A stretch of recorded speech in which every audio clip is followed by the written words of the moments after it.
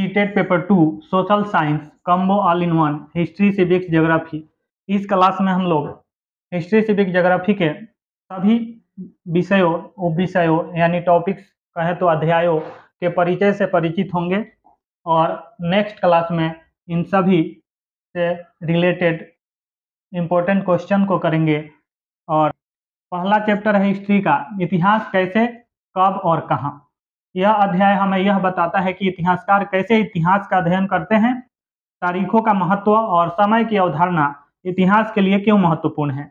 इस अध्याय से हमें यही पता चलता है कि इतिहासकार इतिहास का अध्ययन कैसे करते हैं, साथ ही तारीखों का महत्व और समय की अवधारणा इतिहास के लिए कैसे महत्वपूर्ण है, क्यों महत्वपूर्ण है।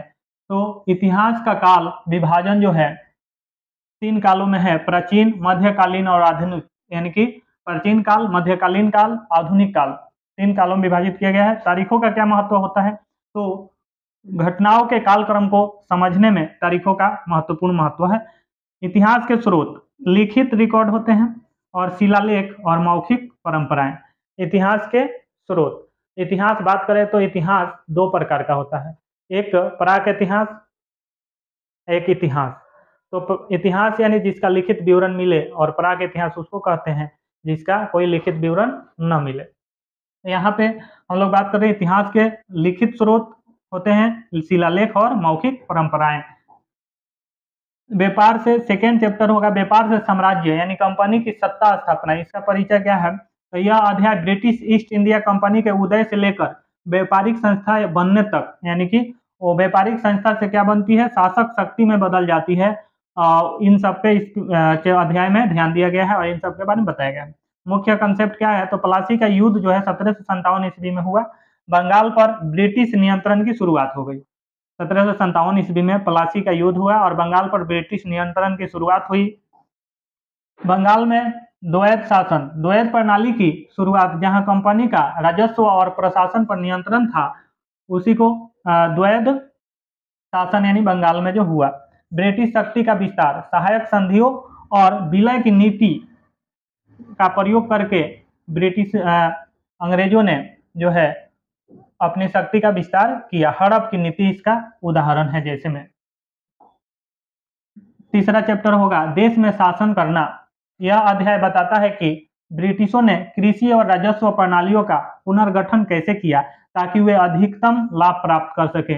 यानी कि कृषि और राजस्व प्रणालियों में पुनर्गठन करके उन लोगों ने ऐसा किया कि ज़्यादा से ज़्यादा लाभ प्राप्त कर सके। मुख्य अवधारणा यानी कि मेन कंसेप्ट क्या इसका? अस्थाई बंदोबस्त। तो अस्थाई बंदोबस्त क्या है? तो लॉर्ड कर्नवालिस द्वारा लागू किया गया, जिसमें भूमि राजस्व अस्थायी रूप से तय किया गया।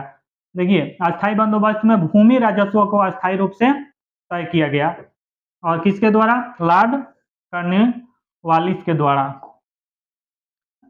रैयतवारी प्रणाली क्या है? रैयतवारी प्रणाली मद्रास और बंबई, जो कि अभी मुंबई है, जैसे क्षेत्रों में लागू की गई रैयतवारी प्रणाली, जहाँ किसानों से सीधे राजस्व एकत्र किया गया। रैयतवारी प्रणाली में किसानों से सीधे राजस्व एकत्र किया गया, और यह जो है मद्रास और मुंबई जैसे क्षेत्रों में लागू हुआ था। नील की खेती की बात करें तो बंगाल में नील की जबरन खेती जिसके परिणाम स्वरूप नील विद्रोह हुआ। नील की खेती बंगाल में जबरन कराई जाती थी, जिसके कारण नील विद्रोह हुआ। चार में पढ़ना है, जनजाति, दिकू और स्वर्ण युग की दृष्टि।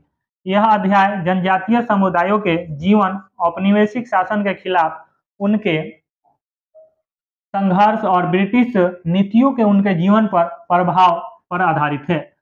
जनजातीय समाज, उनका सामाजिक ढांचा, धार्मिक विश्वास और आर्थिक गतिविधियाँ इनके बारे में पढ़ना है, इसमें नेक्स्ट पढ़ना है। औपनिवेशिक शासन का प्रभाव, जंगलों से विस्थापन, शोषण और विद्रोह जैसे संथाल विद्रोह हुआ था। स्वर्ण युग की दृष्टि, जनजातियों की पारंपरिक जीवन शैली में लौटने की इच्छा। पाँच में है, जब लोग विद्रोह करते हैं, अठारह और उसके बाद की कहानी है चैप्टर फाइव में। यह अध्याय अठारह सौ सत्तावन के विद्रोह के कारणों, घटनाओं और परिणामों को कवर करता है, बताता है। मुख्य अवधारणाएँ, विद्रोह के कारण क्या थे? तो आर्थिक, राजनीतिक, सामाजिक और सैन्य असंतोष, इसके बारे में पढ़ना है। मुख्य नेता, नाना साहेब, तात्या टोपे, रानी लक्ष्मीबाई, बहादुर शाह ज़फ़र। विद्रोह का परिणाम क्या हुआ? इसके बारे में भी पढ़ना है। ब्रिटिश सरकार द्वारा ईस्ट इंडिया कंपनी का शासन समाप्त करना और सीधे ब्रिटिश क्राउन का नियंत्रण। नेक्स्ट सिक्स चैप्टर में है कॉलोनियल यानी कि कॉलोनियलिज्म और शहरों का विकास। कॉलोनीकरण और शहरों का विकास। यह अध्याय बताता है कि कैसे औपनिवेशिक शासन ने भारतीय शहरों के विकास को प्रभावित किया। नए शहरों का विकास जैसे मुंबई, कोलकाता और चेन्नई का निर्माण। पुराने शहरों का पतन। मुगल कालीन शहरों जैसे दिल्ली और आगरा का पतन हुआ। शहरीकरण में औद्योगिकरण के परिणाम स्वरूप तेज़ी से शहरीकरण हुआ। तो जब औद्योगिकरण होने लगा तो बहुत तेज़ी से शहरीकरण हुआ और औद्योगिकरण के कारण। ये है सेवन चैप्टर हमारे इतिहास की समझ। यह अध्याय स्वतंत्रता संग्राम और उसके बाद के समय की घटनाओं का विश्लेषण करता है। इसका मेन कंसेप्ट जो पढ़ना है, स्वदेशी आंदोलन, विदेशी वस्त्रों का बहिष्कार। इसी चैप्टर में पढ़ना है, सहयोग असहयोग आंदोलन, महात्मा गांधी द्वारा 1920 में शुरू किया गया आंदोलन, असहयोग आंदोलन, भारत छोड़ो आंदोलन 1942 में महात्मा गांधी द्वारा ही भारत छोड़ो आंदोलन का नारा दिया गया। करो या मरो का नारा। भारत छोड़ो आंदोलन में महात्मा गांधी के द्वारा जो नारा दिया गया वो था, करो या मरो। चैप्टर एट में है, महात्मा गांधी और राष्ट्रीय आंदोलन। यह अध्याय महात्मा गांधी के योगदान और उनके द्वारा शुरू किए गए विभिन्न आंदोलनों को कवर करता है। सत्याग्रह, अहिंसात्मक प्रतीकों की नीति। सत्याग्रह यानी अहिंसात्मक प्रतीकों की नीति को आगे विस्तार से पढ़ना है चैप्टर के अंदर। दांडी मार्च मार्च या दांडी यात्रा। 1930 में नमक कानून के खिलाफ गांधी जी का मार्च, दांडी मार्च के नाम से जाना गया। अखिल भारतीय कांग्रेस गांधी जी के नेतृत्व में कांग्रेस का पुनर्गठन, अखिल भारतीय कांग्रेस चैप्टर नाइन में पढ़ना है स्वतंत्रता के बाद का भारत। यह अध्याय स्वतंत्रता के बाद के भारत की चुनौतियों और विकास को कवर करता है।